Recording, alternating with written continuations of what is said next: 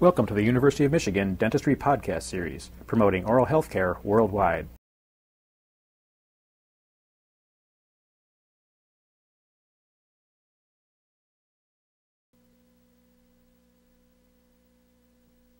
The purpose of this presentation is to review with you the basic elements of sharpening of hand instruments, hand cutting instruments, utilized in operative procedures uh, in the present day essentially to supplement the or complement the cutting action of the rotary instruments which usually precede the application of hand cutting instruments.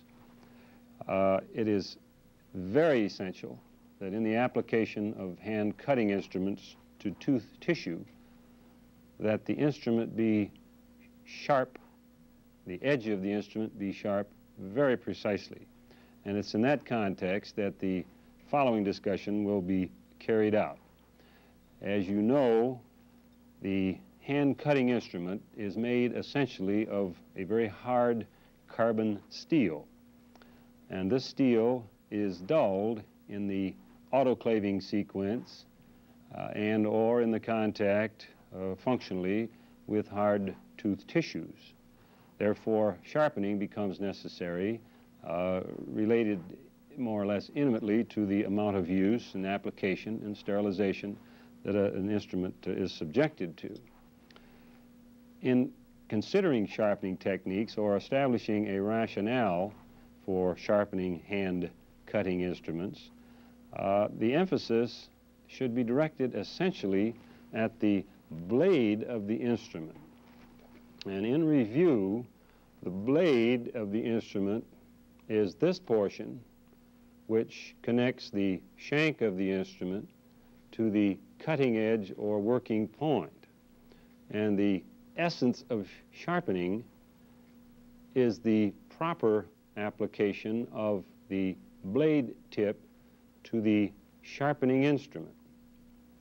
The instrument that we routinely use for the sharpening of hand cutting instruments consists of a Arkansas wheel, very soft, uh, very fine grain Arkansas wheel, rotating on a slightly eccentric shaft, giving the wheel an oscillating action.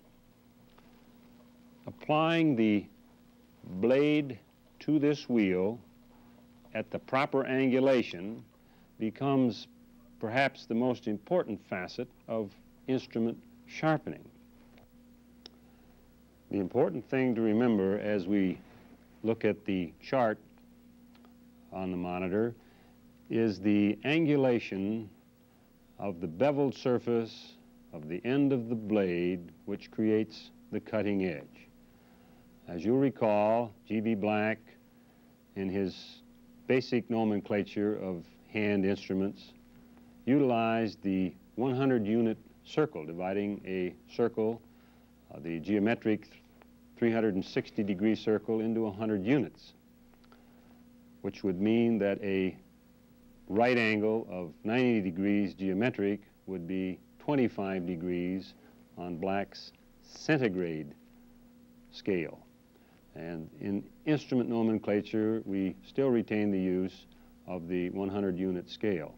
The bevel or the slant of the bevel creating the cutting edge in its reference to the axis or long axis of the blade as we see in this graphic illustration should be 12.5 degrees centigrade. As we look down the blade of the instrument or follow the blade down the instrument, the bevel slanting toward the cutting edge is 12.5 degrees centigrade. The pivotal point where the arrow is now resting is the cutting edge of the instrument. And it is that edge that we would like to show you using this equipment uh, how to properly sharpen or create that edge uh, uh, in this uh, sequence. Applying the concept illustrated in the chart referring to the 12.5 centigrade slant of the blade, we move to the round Arkansas cutting wheel and bring the blade of the instrument, as you see here, into a contact position at the surface of the wheel, which would bisect the angle, the dotted line being the radius of the wheel, and the solid line being a tangent to the surface of the wheel, essentially at the point of contact.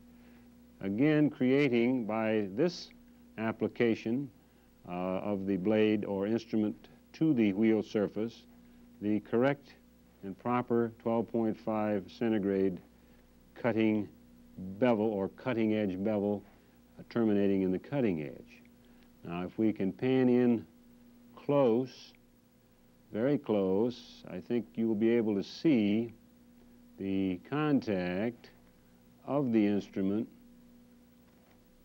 at the tangent to the surface in essence, which will create the cutting edge. The cutting edge would be on the high side or the surface away from the operator as we're viewing it. Now if we turn the wheel on and initiate the rotational action and hold the instrument carefully and firmly but gently against the wheel, we are now sharpening at the proper angle and creating the cutting edge. A light but firm controlled contact with the wheel. You will notice the, the dust from the emery uh, impregnation on the surface of the wheel. In moving to the felt dressing wheel, Uh, the basic purpose of which is to remove the slight burr or accumulation of dust on the instrument cutting edge. As you can see in this very fine close-up, the burr along the cutting edge as well as the residual emery dust. Now by applying this tip gently to the rotating felt dressing wheel,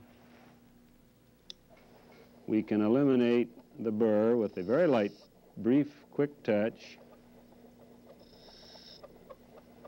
And going back to the close-up,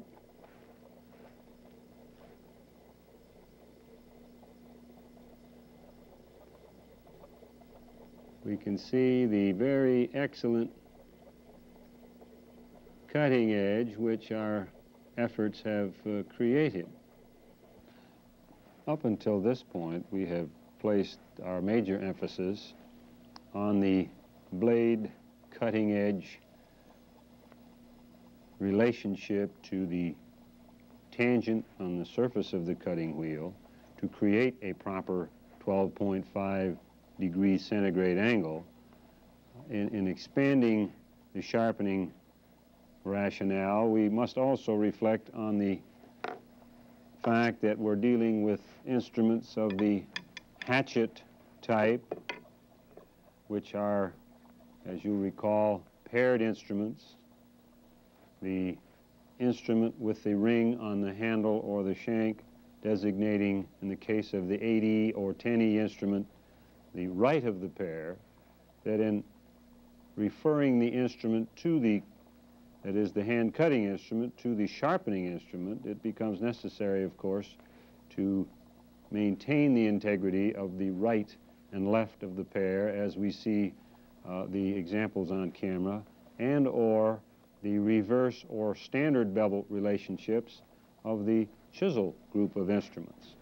And I will proceed to sharpen the hatchet group, taking first the right of the pair, and notice the position of the hands in reference to the rest on the instrument, that is the sharpening instrument, applying the cutting edge in the normal relationship, 12.5, going to the dressing wheel, we have sharpened the right of the pair.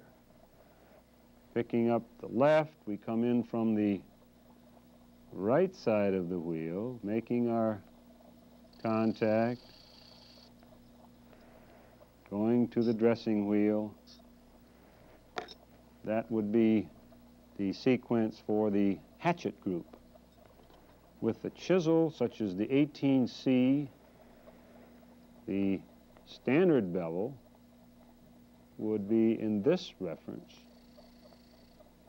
And notice the support of the hands and the control of the instrument using both hands firmly, touching the dressing wheel and completing the sequence. With the reversed bevel of the chisel group would be the handle would be in this reference and coming in again against our stop or rest area, we make the proper contact, come off, and complete the sharpening sequence. The hand cutting instruments, which traditionally seem to cause the most difficulty in sharpening, are the gingival margin trimmers. On the illustration uh, now on camera, we again refer to the basic 12.5 degree incline or slant of the cutting edge bevel. And this, of course, is also, the integrity of this is withheld or is held in the sharpening of the gingival trimmers. Now, taking the actual gingival trimmers and reflecting on the fact that we're dealing with a mesial trimmer on the top of the uh, camera or shot now and a distal trimmer on the bottom of these two uh, becomes necessary in addition to creating the 12.5 degree cutting edge slant to maintain the integrity of the slant of the cutting edge in reference to mesial or distal trimmers. And so we'll follow through and sharpen these instruments, taking the mesial trimmer first to, to the wheel, applying the rules that we have developed, touching lightly on the dressing wheel, and the distal trimmer coming in from left side, getting good support by the rest against the wheel, correct angle, the 95 degree centigrade angle of Black's formula, and a touch on the felt dressing wheel and the sharpening is complete. We have tried to show you in relatively simple, straightforward terms the sharpening procedures related to hand cutting instruments. In completing the sequence, I think it is it behooves each of the students involved to review thoroughly the angulations, uh, basic angulations of the instruments, such as the cutting edge relationships of gingival trimmers, review the paired instruments of the hatchet group, familiarizing yourselves with the right and left of the pair, and review the chisel group in reference to the standard or reverse bevel, and then having this information in mind, focus on the importance of the blade relationship to rotating wheel surface and creating the correct cutting edge.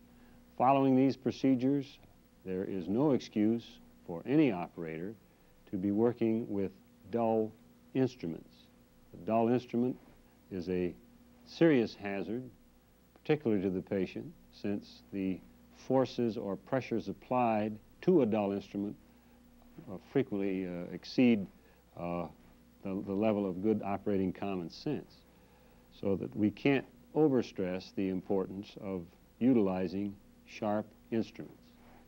Uh, the dispensing cages at all levels have sharpening wheels. The instrument that we've used here, uh, you may sign out the instrument and sharpen instruments uh, with staff support at any time uh, they, it is necessary to do so. You have been listening to a presentation from the University of Michigan School of Dentistry, which is dedicated to supporting open learning and open educational resources. This recording is licensed under the Creative Commons. It may be reused and redistributed for nonprofit use. Please attribute materials to the University of Michigan School of Dentistry and redistribute under this same license. For more information on how this and other University of Michigan School of Dentistry recordings may be used, visit www.dent.umich.edu/license.